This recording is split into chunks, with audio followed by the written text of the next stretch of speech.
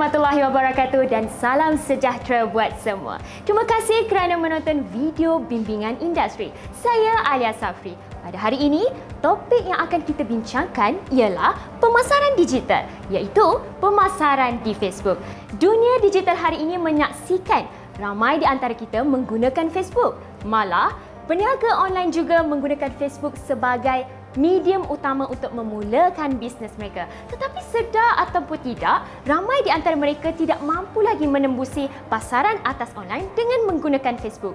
Jadi, kita akan dapatkan tips dan teknik yang berguna daripada seorang individu yang pakar dalam bidang pemasaran digital, antaranya pemasaran di Facebook. Tak sabar nak tahu?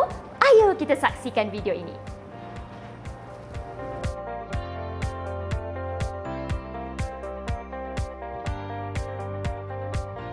Baiklah, untuk perkongsian topik kita pada hari ini iaitu pemasaran digital, pastinya ada tetamu yang kita bawakan kepada anda iaitu di sebelah saya Encik Jamaluddin Bahari atau lebih mesra dikenali sebagai Sifu Jamal yang merupakan pengarah syarikat Sifu Bet Sendirian Berhad. Assalamualaikum Sifu. Waalaikumsalam Cik Alia. Sihat Sifu? Alhamdulillah luar biasa sihatnya. Ah itu yang kita nak dengar. Alhamdulillah. Baiklah, terima kasih pertamanya kita ucapkan kerana sudi bersama-sama dengan kami dalam video bimbingan industri untuk kali ini dan kita juga amat berbangga kerana dapat mendengar perkongsian daripada salah seorang pakar dalam bidang pemasaran digital terutamanya Facebook. Tapi sebelum kita pergi lebih jauh Sifu, orang nak tahu juga siapa orang di sebalik nama Sifu Jamal ini dan bagaimana Sifu Jamal boleh terlibat dalam pemasaran digital. Silakan. Okey, um, saya bermula bisnes uh, online ni lebih kurang 2007 lagi. Aha. Kurang 2007. Masa tu saya adalah seorang engineer mm-hmm. di Jabatan Kerja Raya JKR. Yang mana almaklumlah baru kerja kan. So bila baru kerja tu baru duduk KL, rumah sewa jadi baru lepas kahwin pula. Aha. Ha, kerja baru 2 bulan terus kahwin. Terus kahwin. Ha. yang mana dah sebelum tu dah bertunang lama. Jadi bila duduk KL tu duit gaji pun tak cukup. Hmm. So saya cari peluang macam mana buat bisnes. So saya jual produk. Hmm. Saya jual uh, kepuk leko, saya jual produk-produk apa tu direct selling. Aha. Uh, pergilah training hujung-hujung minggu. Tapi saya rasa penat. Ha, saya rasa, ish, aku ni tak ada masa ni. Mhm. Kena cari sesuatu yang baru. So dari situ saya cuba, saya buka dekat internet, saya tengok panduan-panduan ataupun artikel-artikel tentang bisnes internet. Okey. Dan dari situlah saya mulakan sebagai agent. Agent jualan online yang dipanggil affiliate. Yang mana saya promote produk orang. Kalau ada orang beli produk di website tersebut, saya dapat commission. Ha, lepas tu saya bu- buat lagi, buat lagi. Mula-mula tak ada hasil lah. Mhm. Sehinggalah satu masa tu saya fikir saya kena buat produk sendiri. Okey. Tapi tak ada modal. Okey, tak ada modal, tak ada kepakaran. Bila saya baca secara online, oh satu produk yang dinamakan e-book. Ah, E-book. Produk digital kan jual e-book. So saya pun tulislah e-book. Saya refer dekat dekat Google, saya refer dekat buku, keluarlah satu panduan. Dan saya jual dalam masa dua minggu baru dapat jualan. So dari situ dia membuatkan saya bersemangat lagi. Saya target nak seribu pula, dua ribu ringgit. Dan saya jual produk tu saya pasang agent makin berkembang. Alhamdulillah makin berkembang. Lima ribu, tujuh ribu, belas ribu. Kemudian selepas lebih kurang dua tahun Dah selesai hutang-hutang ni saya decide nak berhenti kerja. Oh. Masa saya decide berhenti kerja okay, Masa tu dah bermacam-macam. Saya jadi agent, jual produk digital, buat servis So dari pengalaman-pengalaman tersebut Dalam masa yang sama saya buat training. 2013 Disebabkan saya rasa passion saya lebih kepada training Aha. Saya tubuhkan Sifu Bag Dari situlah Yes. terciptanya Seafood Bed Sendirian Berhad. Ya, Sifu Bag tertubuh pada April 2013 April 2013. Ha, April 2013. Ah, sudah lama beroperasi. Alhamdulillah. Alhamdulillah. Boleh lah, lama lah juga kan Ya, Ha. Alhamdulillah dah. Baiklah, seperti sedia uh, maklum, nama Sifu Jamal sudah tidak asing lagi dalam kalangan peniaga-peniaga atas talian di luar sana. Okey. Dan uh, kita juga sedia maklum, Sifu Jamal juga banyak menguruskan uh, bisnes-bisnes online juga di luar sana.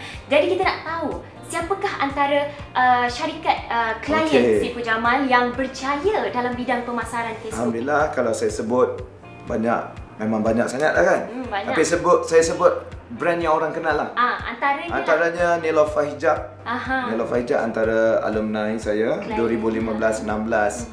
uh, Datuk Ida juga pernah. Okay. Uh, Wawa Zainal student sekarang ni. Oh, Ah, sekarang ni. Antara yang kami guide sekarang ni. Dizandra Perfume dan uh, banyak lagi melibatkan servis.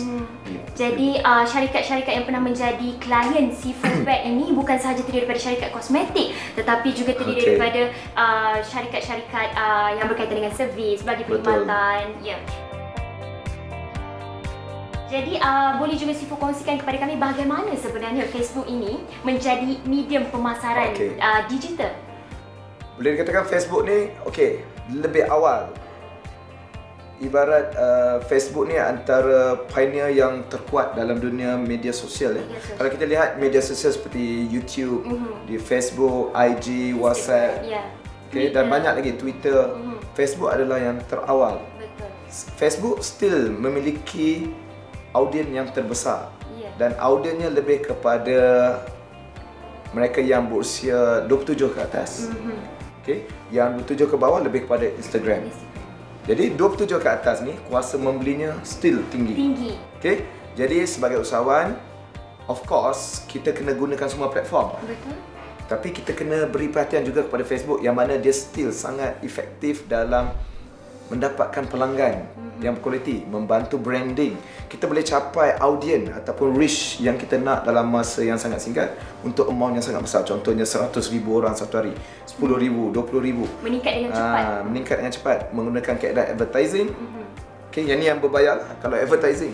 Kalau yang percuma, kita kena banyakkan macam video. Uh, yang mana Facebook, IG, YouTube dia ada bahasa dia tersendiri. So Facebook antara platform yang terbaik yang mana dia cepat viral, orang share, share, share. Dan banyak orang komen juga berbanding Betul. platform yang lain. Betul.